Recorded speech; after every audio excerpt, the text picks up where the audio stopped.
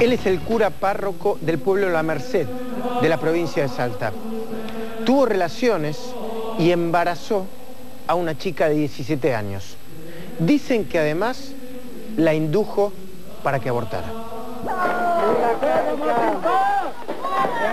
Él tendría que estar preso ya esta mañana hablaba del amor, hablaba de, la vida. ¿Y qué es lo que hizo con esa niña? Con esa niña, la destrozado a esa niña, destrozó esa familia.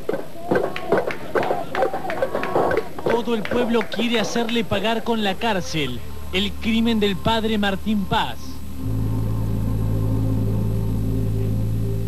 El cura de la iglesia de la Merced, en Salta, mantuvo relaciones sexuales con una joven de 17 años, quien quedó embarazada y luego sufrió un aborto. No sé, ambos empezamos a sentir cosas entre nosotros dos y...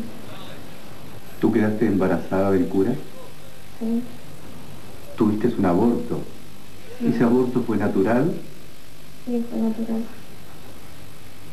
El sacerdote ya fue suspendido por la iglesia. La iglesia va a proceder de acuerdo al derecho canónico universal, que es lo que corresponde.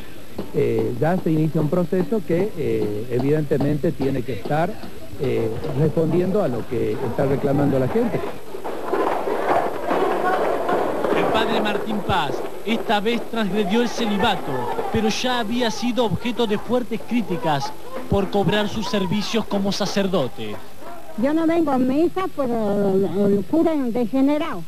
Que se vaya y lo metan adentro. ¡No, no!